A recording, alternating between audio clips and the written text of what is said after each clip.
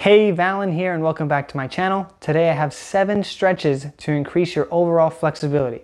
All you need today is a chair. Whichever one you have is good for this use. So without further ado, let's get started. Exercise number one, which is a hamstring stretch. So as you're sitting down, you're gonna be sitting close to the edge of the chair. Okay, I'm gonna bring one leg out in front. We only do one leg at a time. We're gonna make sure that knee is nice and straight, toe pointed up towards the ceiling. We're gonna make sure our posture is nice and tall, back straight, brace that core. We're gonna go ahead and bring our hands at our side and we're gonna lean our torso forward without arching our back like so. Nice and straight, leaning forward until we feel a stretch all along the back side of our leg. And you're gonna be holding that position. Okay, keep holding it. And then once you're done, come back up. Okay, remember you do the other side. Just so you know, you can do this exercise standing as well, doing the same thing. Quick preview, same thing, bring your leg out, toe pointed forward, hands at your hips, and you're gonna lean forward. So same thing, standing up and sitting down. So that's number one, on to the second one.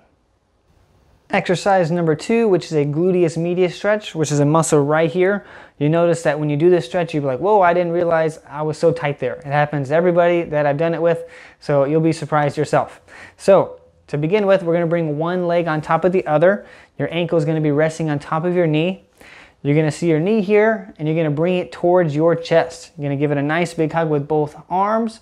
You're gonna bring it in, squeeze, bring it as close to your chest as possible while maintaining good posture. You don't wanna be coming like so, you won't feel it as much. But as you bring your knee closer to yourself, you feel that stretch right there in the side of your hip, and it's gonna feel really good because a lot of us are tight there. So just remember, do this stretch on the other side because you'll notice that one needs it too. So number two, on to number three. Exercise number three is spinal rotation. So we're gonna be rotating our spine and holding the position. So I like to show my back to, uh, for this exercise, for the stretch, sorry. So I'm gonna come here, bring this behind. So starting off, I'm gonna bring my left hand over to the outside of my right knee. From here, I'm gonna bring my right arm, use the back of the chair, make sure I have good posture, and I'm gonna push into that right knee with my left hand and rotate that spine until you can look behind you. This is a great stretch to do because when we do drive, we look at our blind spot and we need to be able to look so we have good range of motion. So great exercise, sorry, great stretch to do. Just remember, do the other side, right arm on the left hand side, left hand on the back of the chair, and rotate and hold that position. Okay, so that's a great one to do. That's number three, on to number four. Exercise number four is hip flexor stretch. So our hip flexors are right here. I guarantee that yours are probably tight because most of us sit most of the time and those muscles tend to shorten without being stretched and elongated. Um, so without further ado, let's begin. So I'm gonna have a chair here at my side because it is kind of balance oriented. I'm gonna bring one foot in front. The leg I prefer is the leg closest to the chair that's in front. That's my preference, you don't have to do that. I'm gonna bring one leg back. Try to aim for the heels coming off the ground so you can get into a further stretch. From here, you're gonna bend the front knee forward. You're gonna keep that ankle popping up. You're gonna squeeze your bottom and kind of tilt your pelvis in. Okay, from here, you're gonna bring the arms up or just one if you feel like you're losing your balance. And you're gonna hold this position. Okay, if you don't feel it enough in the front of the hip, bend that knee further forward and squeeze your butt tighter. It's the best way to do. I feel it more just by doing those two easy, uh, simple fixes there. Okay, remember, do the other side. Don't forget the other leg. Share, share some love. Okay, so that's number four. On to number five. Exercise number five is a quad stretch. Our quads are right here in the front of our thighs.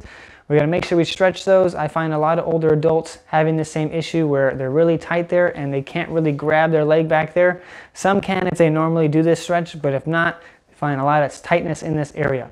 So we're gonna need a chair for this because we are standing on one leg and balance is very important so we don't fall. So from here, we're gonna shift our weight onto one leg. The knee's gonna be slightly bent. This leg is gonna come back as far as you can. You can grab your pant leg, your sock, whichever you have. Aim for the ankle or don't aim for the foot because you're stretching across two joints and the joint doesn't like being stretched like that, especially if you're aiming to stretch here. You want to get an even better stretch that you can bring your foot, your whole leg closer to your bottom here, close to the bottom, and hold that position to where you feel the stretch. Another thing you want to avoid is bringing that leg out like so. You're not really focusing on stretching the thighs, you're also stretching the inner thigh, and that's not what we want. We want to make sure that ankle and leg are really close to the other leg and you're feeling that stretch. Okay, again, it's a great stretch to do, and remember, do the other side. So on to the next one. Exercise number six is gonna be a tricep stretch. So I'm gonna be using a kitchen towel for this one, but you don't have to use it if you don't want to. I'm gonna show you both ways with the kitchen towel and without it. It's slightly easier with the towel because you can pull each way and hold the stretch without having that range of motion. So without further ado, let's begin. So we're gonna be stretching our triceps, which is right here. We're gonna bring the towel behind our back. We're gonna have the other one coming behind our back. We're gonna be pulling down, down, going down. We're gonna be holding that position and we're gonna be feeling the stretch right here on the tricep. Okay, coming down. So a great stretch to feel, feels pretty good. So we are able to scratch our back instead of using a back scratcher because then we're cheating. and that's something I don't, I don't like to promote because I want people to be able to scratch their back on their own. Um, but yeah, this is a great stretch to do to stretch that shoulder and tricep going through this motion. Okay, without it, I'm gonna put this on the ground for now. Without it, we're just coming back here, reaching behind our back. Then we're gonna bring our other hand and push that tricep back. Okay, in that same position, we're pushing and we have an external force, which is your other hand pushing it back. So those are two ways you can stretch the tricep muscle. So on to the next one. Exercise number seven is an anterior deltoid stretch. So I'm gonna show you both ways with the kitchen towel and without it. This one is much easier with the kitchen towel, which is why I'm demonstrating both. Um, this one is pretty challenging to do by yourself with your arm just behind your back. So let's begin.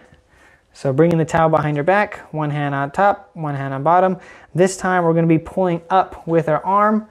This is gonna be feeling really, uh, you're gonna be feeling a big stretch right here in the front of the shoulder. You don't wanna suddenly pull up really quickly. You're gonna cause yourself a lot of pain if you're pretty stiff in that shoulder. So nice and slowly, gradually coming, coming up. Remember, don't, uh, don't pull hard and until you feel a pain. You want to make sure there's a slight discomfort, but anytime you feel pain, you're going too far, you should take a break and come back to it later when pain doesn't uh, occur anymore or at all, really. So, again, just to show you one last time, pulling up and holding that position.